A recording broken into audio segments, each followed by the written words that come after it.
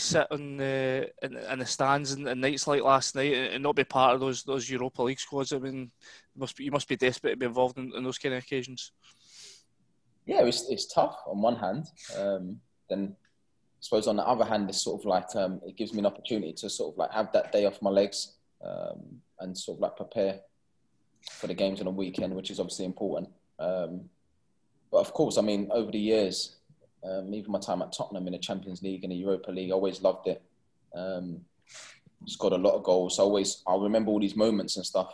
Um, and of course, when you sort of like get to the, get to the sort of like the back end of your career, you, you, you want to have those moments again. You want to play in the Europa League because you're playing against you know the best teams in Europe. You're playing against top defenders and and uh, you're still testing yourself on that. So of course, it's not easy watching it, but at the same time, um, I still have you know great memories of, of playing the Europa League for many years. Ali Defoy, Ali Defoy, please. Morning, Jermaine. Um, you're heading to Falkirk on Sunday, artificial pitch. How difficult or challenging is that in your position? Um, I think it's you just have to approach it like any other game. To be honest, I don't. I don't think it. It's sort of like um, obviously it's going to be you know something different. You know, artificial artificial pitch somewhere that well I've never been before. I heard that's really cold there as well. So um, love the thermals. No, but um, no, I'm looking forward to it. It's another game, a game that we want to go there and win, and just keep the standards high, and to continue what we what we've been doing. And you know, like I mentioned before, just approach it like any other game, um, and you know, go there and, and, and try and win the game. That's all we can. That's all we can do. David Edgar, please. Jermaine, you've looked really sharp in your last two starts. Uh, how you, how happy are you with your own form so far this season? To be honest, I feel really sharp. Um, still feel like I'm probably playing at that seventy percent because um, you still need a run of games to get that match fitness. Um, but in terms of like small areas and stuff like that, I feel really sharp. Um, the Livingston game, I felt really sharp. Uh, I felt fresh, felt strong and that's probably because of the work that I've done, um, you know, off the pitch in the gym, um, and obviously not being in the Europa League squad. Uh, on a on, on a Wednesday, you know, I, will train hard. I'll stay behind. I'll do running, and then I'll do like a big session in the gym because I know I've got the day off the next day. So I sort of like peak going into the weekend, which is which, which has really helped me. Um, so just run a games ready to really get up to that sort of level that I want to be at. Um, maybe from the outside looking in, um, probably look like I'm at that level, but I still feel like I've still got a little bit to go um, to get to that sort of like razor sharpness where I'd want to be. Thank you. McLean, please. Hi, Jermaine. Um, obviously, the, the club will want to be successful in all fronts this season. Just how important do you think the, the Betfred Cup could be in terms of you know keeping that momentum going, but also the fact that it is the first trophy available this season as well? Just can that really sort of spark some success if you're able to to go all the way in this competition? I think so. Yeah, I think it's important, especially when you play for a club like this. You know, you have to compete in every competition. You have to believe that you can win in every competition. You know, whether that's the cup, uh, obviously domestically, you know, um, Europa League, um, which we which we we compete in well in.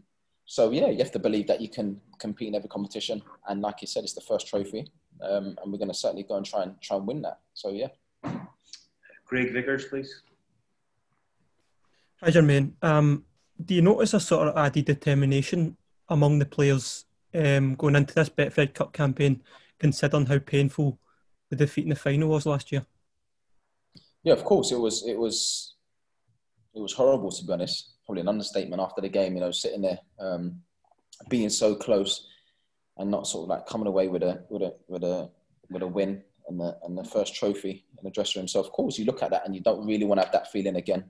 Um, but saying that, you know, it's still a long way to go. Um, we have to win the game on the weekend and uh, and see what happens after that. Um, but like I said, like I said before, like you know, we, we want to try and compete in, in every competition because you know we're playing for Rangers, and that's and that's what we want to do. Um, the demands of playing for this football club, everyone understands. Um, the squad's really strong. You know, the you know you can you can see in different games there's different personnel. Uh, you know, players that are coming in and and producing. To be honest, um, you know, credit to all the boys. Everyone realizes how important this season is, you know, in every competition, and and and hopefully that can continue. Luke Shanley, please. Given that, then, Jermaine, how do you assess the difference in terms of mentality this season now on an unbeaten run compared to when you joined the club now? Is there is it much stronger? I think the squad, the squad, the squad's obviously stronger. I mean, you can sort of like if you look in every position, um, even before when you sort of like you got players that are maybe not hundred percent fit. Maybe before when I first came, you know, you, you know, you sort of like take risk and play those players. Or but I think now when you know if someone's got like a, li- a little niggle or something, you don't have to take any risk because there's players that can come in and and put in those same performances that we need because um, the squad's so strong. And I think the mentality is um, at the minute the mentality from every player is is where it needs to be. Uh, I think everyone knows that you know every game you play, not just in the games, in training. I think the training sessions, because I think that for me, that's where it starts. Training's been really sharp over the last few weeks. You know, everyone's been on it in training, everyone's doing the extras in the gym and just ticking every box really. And I think that's, that, can, that shows in our performances. And finally, Robin. Hi, Jermaine. You've obviously reaping the benefits of looking after yourself throughout your career. Um, I just wondered uh, how many more seasons do you think you can still play? And uh, do you think would you like another crack at Rangers next season? I know to be. I've always just listened to my body. To be honest, I think it's important to listen to your body. Um, also, be honest. Uh, especially be around people that's going to be honest with you.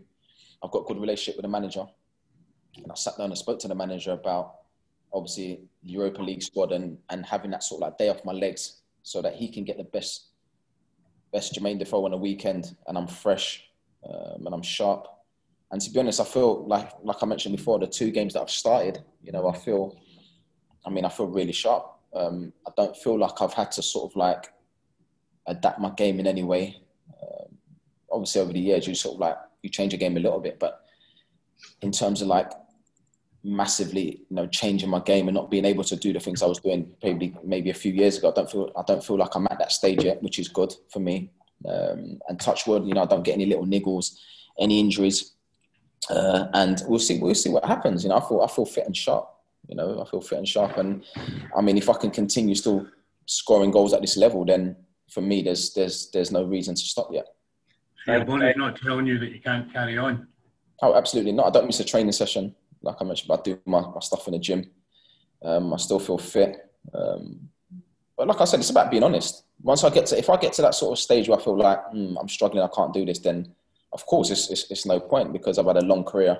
I've enjoyed it. It's been great. But I mean, at the minute, um, I don't feel like I'm 38. tell you that. I don't feel like I'm 38. So, um, so yeah, hopefully, um, I don't know. We'll see what happens. Cheers, guys. See you Sunday. Cheers.